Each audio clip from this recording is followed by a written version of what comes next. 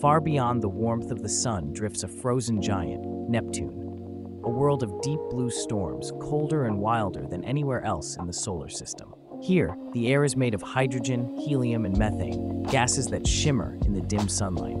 But beneath that calm appearance, something powerful is hiding. Neptune's winds are the fastest in the solar system. They howl at over 2,000 kilometers per hour, faster than the speed of sound. Yet we don't know how a world so cold can move with such fury. If you're enjoying this cosmic journey, don't forget to like and subscribe. Some scientists think it's because Neptune's core still radiates ancient heat, trapped since its birth. Energy escaping upward, stirring the atmosphere like a heartbeat in the dark.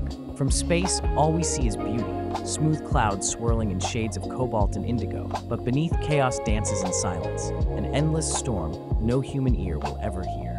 Like, subscribe, and explore the cosmos, one loop at a time.